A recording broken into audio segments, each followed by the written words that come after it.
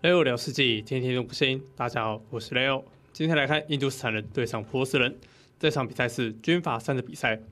好，那这场比赛很特别哦，开局就在这个岛上啊啊，这个岛上呢是有非常多的兵哦，还有这个鲑鱼群啊。那开局哦，由于运输船只能载五个人哦，所以被留下来的人哦，就先开个码头。那这个码头开完，哎，结果到头这边失误，没有载到人，就掉头就走。哎呀，慢了一些。好，这边到特开局失误，连 TC 都还没下。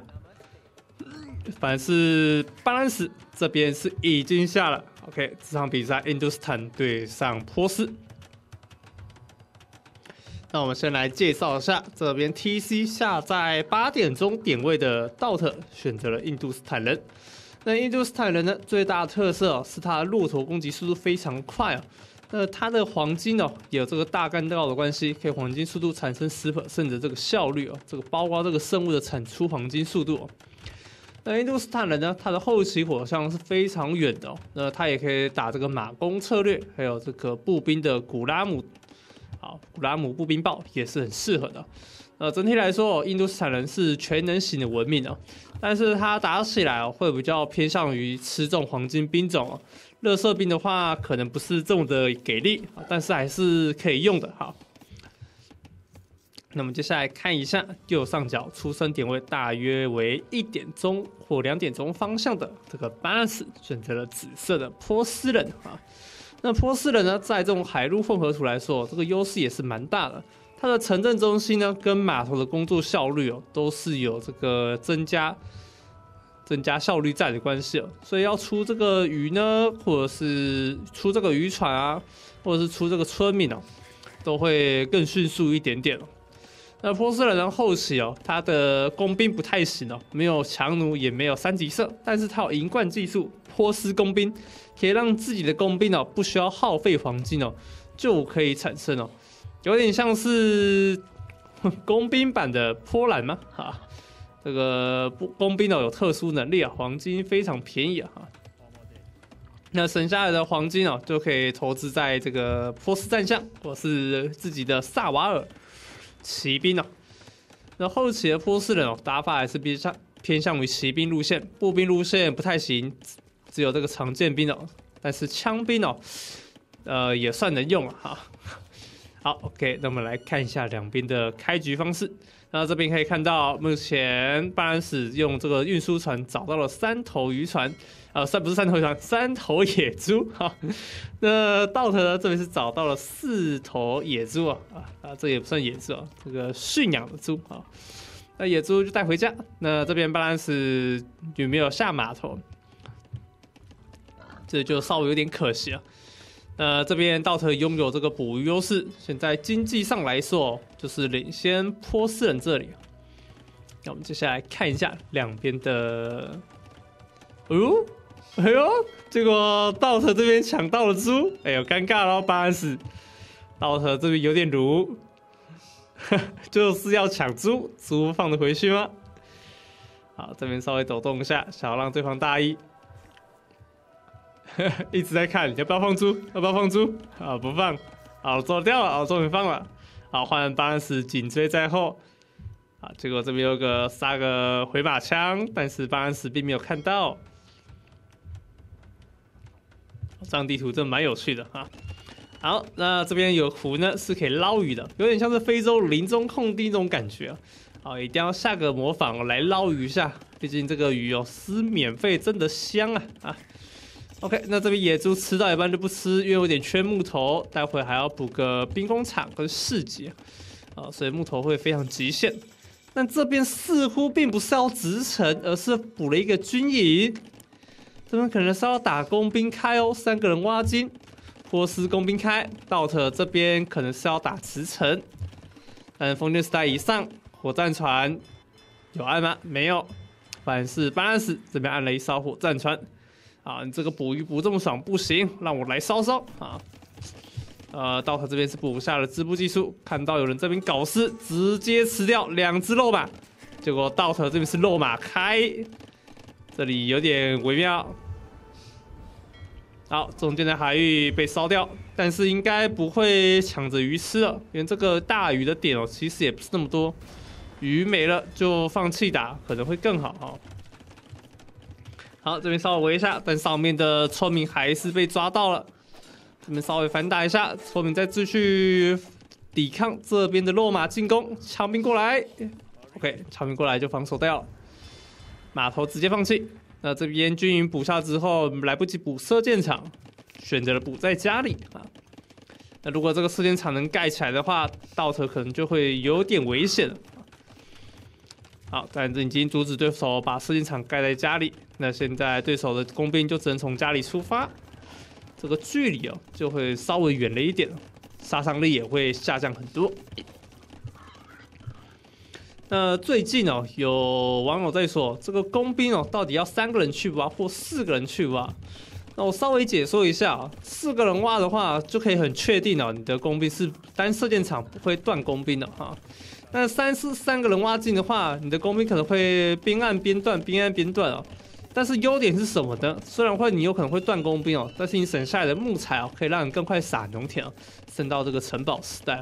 所以这是一个取舍的问题啊。如果你想要让你的工兵数量一直保持在产能全开的情况，那你的黄金还是不到八个人或是九个人哦，哦可以稳定的一直不断工兵。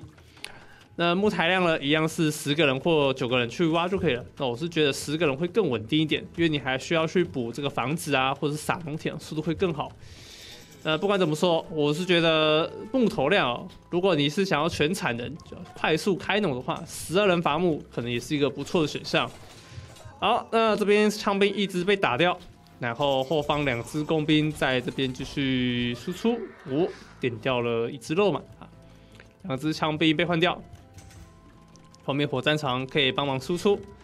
波斯人一升到城堡时代，点下了重装长枪兵的升级啊，然后开下了三 TC，OK。波斯人确实该这么打啊！只要有三 T C 在，基本上就没有什么太大问题。这只参戏的村民会被抓掉，赶快拉走！完蛋，来不及盖好 T C，还是被抓掉了一村。现在两边村民数道特是暂时落后的啊，毕竟波斯有这个工作效率的优势，村民数已经领先，资源量也是领先过去了。两边封建时代没有什么太大的打斗，但是工兵一直在骚扰。这边重装长枪兵撤退一下，工兵过来解僧侣，结果工兵被招降。两边对射，OK，射倒对方的工兵，僧侣再出来继续招。这边想要招重装长枪兵，看到火弹船招降一下，OK，选择拉走另外一台火战船过来，有招到吗？没有。好，落马过来这里了。现在落马骚扰为重，如果能抓到村民的话是最好。那让对方收村哦，也是一个很重要的骚扰的骚扰的目的啊！哦，结果这边两只枪兵抓到了轻骑兵，哇，轻骑兵只剩下两只残血了。OK，那左边没有太大动静，战船过来被招，哎呦，顺利招降到。那现在波斯改为四 TC 继续弄啊，这张地图真的是打后血比较好，因为它有点偏大哈。如果打快攻的话，如果打不进去，对方可能会变成且打且退哈，用空间换时间。呃，如果他能上去的话，帝王打城堡就难受了。那印度斯坦打波斯人后期啊，有这个帝王骆驼在啊，所以遇到萨瓦尔哦，也不到说非常难处理啊。好，波斯这边点下轮轴，后面补了一个大学。好，这边是要走什么路线呢？走马弓。那波斯人现在马弓路线哦，它一个特点哦，就是在城堡时代就可以研发安息人战术，这个效果让它的远程防御率哦更高一点哦，还有这个打枪兵的效果伤害更高。那只要克制住对方枪兵之后，自己的波斯战象就不怕长枪兵了。这算一个小细节哦，甚至连对方僧侣哦，也算是蛮好克制住的哈。所以波斯人给这个效果，我觉得有蛮大的加成哦，让马弓配波斯战象这个组合搭配是成立的哈。好，这边马弓骚扰骆驼过来，后面僧侣招降到了一支枪兵。哦，还有招招想到血多的枪兵哦。好，但是骆驼的话，只要能贴到马弓，就可以造成大量伤害。马弓数量一定要先堆叠起来，才会比较好反击骆驼。但是波斯人这边是先点下地龙时代，感觉城堡时代还是小打小闹，并不是要来大开战。好，右边城堡已经补下了一个，这边城堡有要补银冠吗？波斯工兵，好，看来是没有。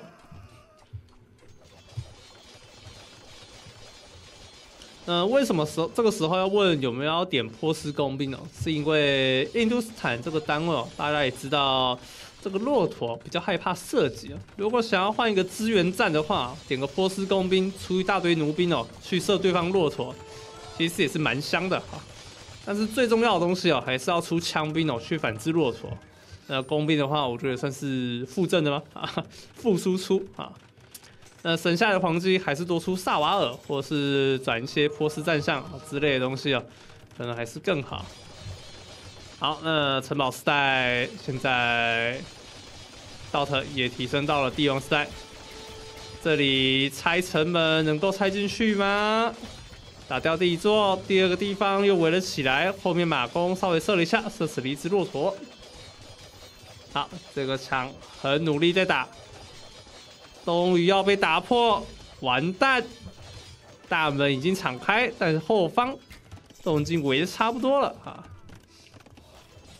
好，现在扎的部分补下了非常多的射箭场，还有马厩啊。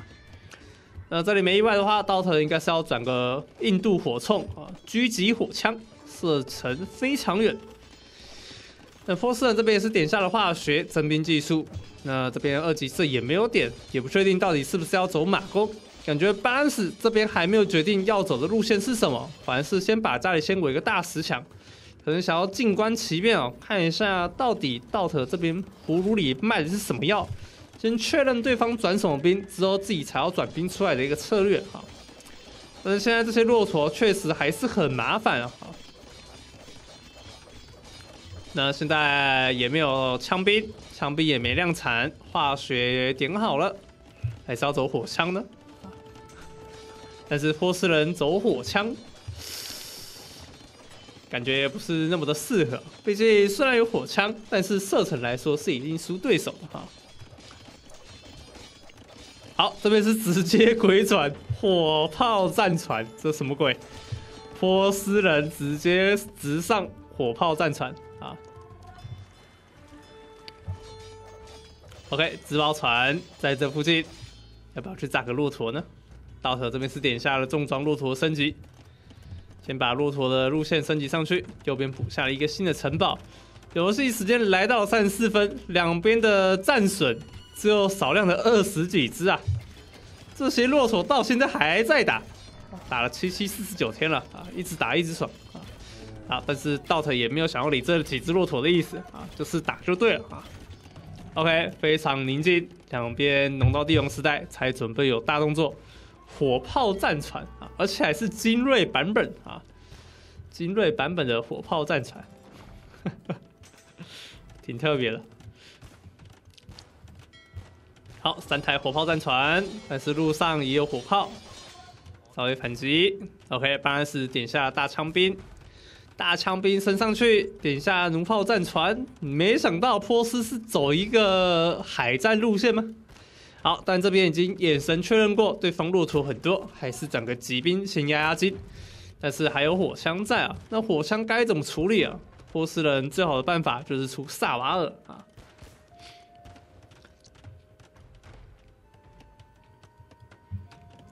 好，但萨瓦尔又会被帝王骆驼给压制住。所以这边波斯人要打赢正面的话，枪兵配萨瓦尔可能是最佳正解啊，不然就是要转出波斯战象啊，是一点伤害。但是面对这种火枪阵也不是那么的好打啊。好，点下金冠技术，波斯堡垒啊，也算是波斯城堡。好，这里火战船稍微烧一下，结果城堡最后还是顺利的拆掉了。三艘火炮战船做到了非常大的作用。好，帝王骆驼提升上去，三级工兵甲也提升了。好，波斯人点下了安息人战术，结果还是要走马弓啊！想想还是走个马弓路线。那其实印度斯坦这个搭配哦，是蛮害怕工兵单位的，只要工兵数量一多，一直用这个波斯工兵免金消耗的话，到头可能会有点难受。那这部分就是要打到非常大后期哦，才会有见效的效果。那正面要打赢的话，可能还是要自己多出一点黄金兵哦。呃，没想到波斯这边是选择了马弓啊。那马弓的话，波斯人就有点可惜了。帝王时代没有三级射，伤害就只有六加三啊。那待会重装的话，才会再加个一点伤害，变七加三，十点伤害而已。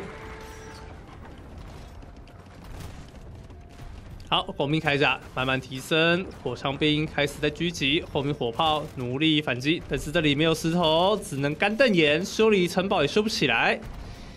好，到他这边慢慢进攻也不急，火枪就是跟你打个狙杀，用火枪射掉火炮战船，太狠了啊！但是现在沿岸打击火炮战船打得非常舒服啊。好，走进去了，这一波。马弓数量来到了二十六只。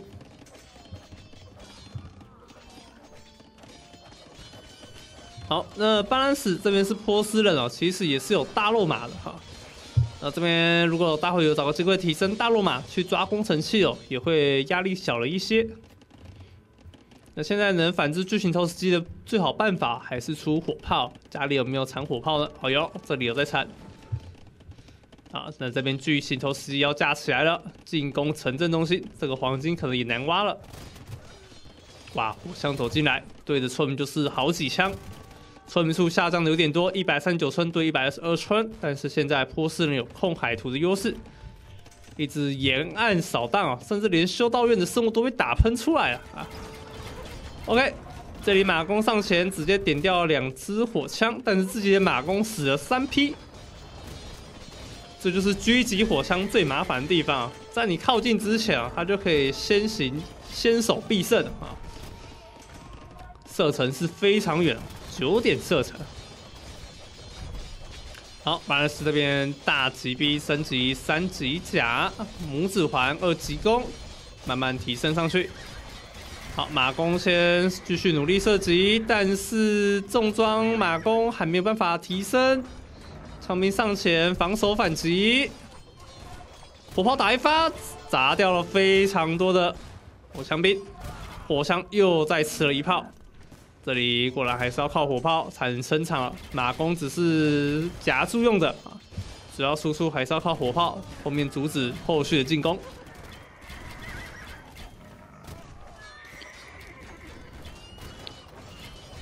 好，现在这个情况。对巴兰斯来说是一个不错的情况，可以打得回去。马弓点掉一台火炮，第二台有机会吗？硬点可能会点到头破血流，但是点到一半又突然不点，这样到底是要点还是不点呢？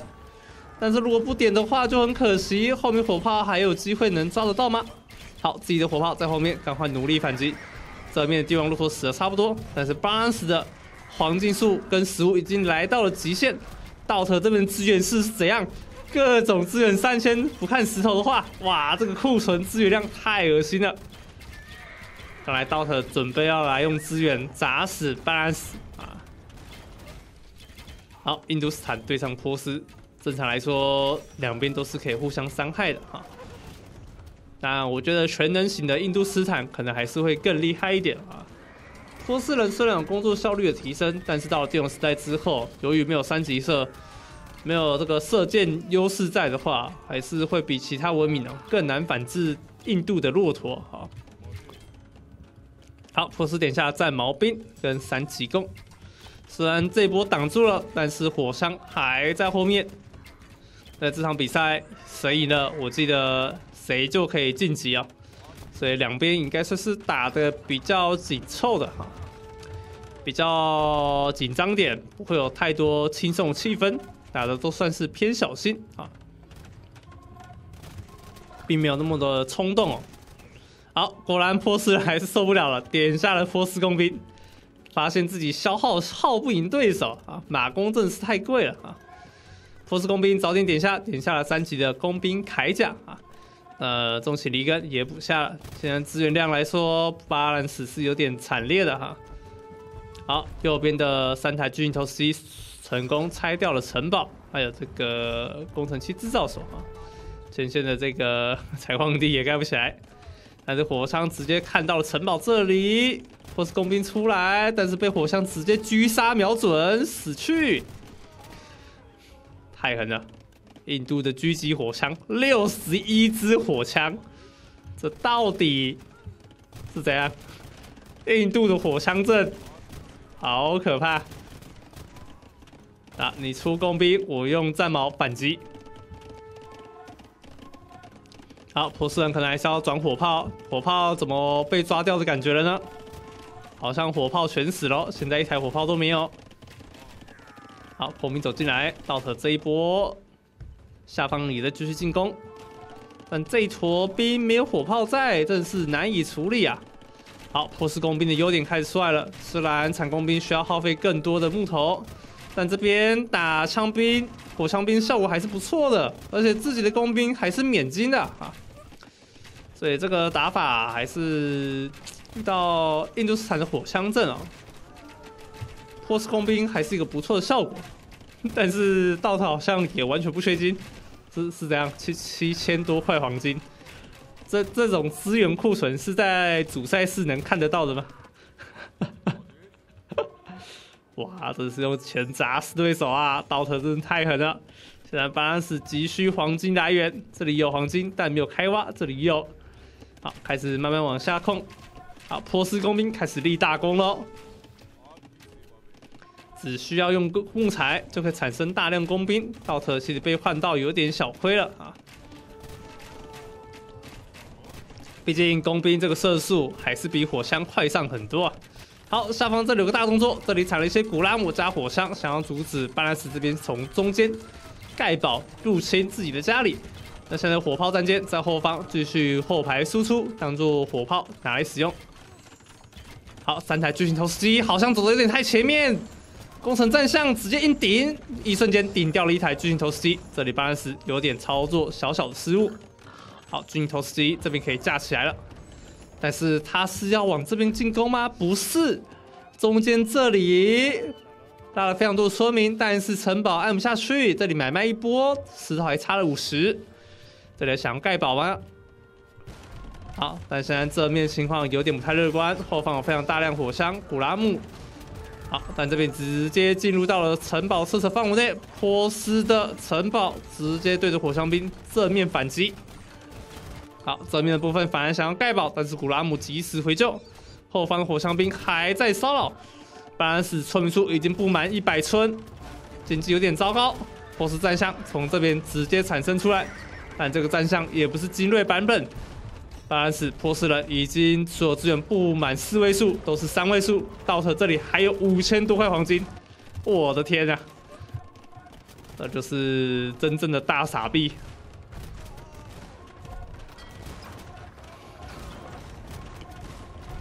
好，火枪兵直接手撕巨头，但巨头的远防非常高，应该是射不穿的。要射两百发，外面还有村民在修理。而且这个火枪兵一直在用头接城堡伤害，这座城堡已经击杀了快要三十只的单位了。好，后面两台火炮战船，后面的村民在修理，但是被火枪射到头破血流。火炮战船被射倒了一台，后面的进攻道特也不管了，我就是火枪继续按，虽然损失很多。但是只要能射倒对方的火炮，守住这个城堡，基本上就十拿九稳。OK，家里的火枪重用免金工兵搞定了。但是正面的前身也是全部被瓦解。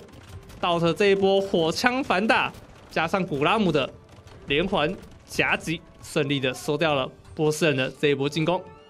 好，上方又有一个新的城堡，想要来重新占领新的经济区。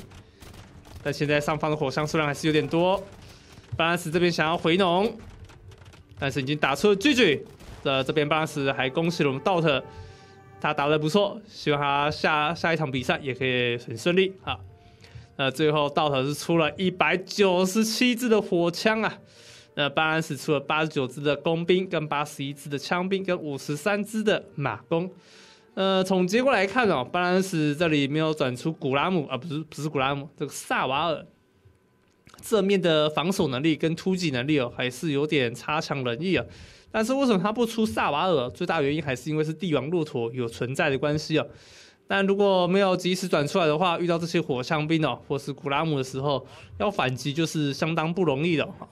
那如果不出古拉姆的话，啊，不是不出萨瓦尔的话，可能还是要转点大肉马，会比较有一些机动性的优势在，会比较好。好，我们来看一下经济的部分。那经济的部分呢，是由道特拿下资源上的胜利，赢了两万资源啊，黄金数整整赢了一万二，这个数字是在职业赛里面很少看到数字啊，黄金赢了快一倍啊。好了，那我们今天影片就差不多到这喽。那如果喜欢这部影片，请记得帮下订阅，我们就下次再见喽，各位拜拜。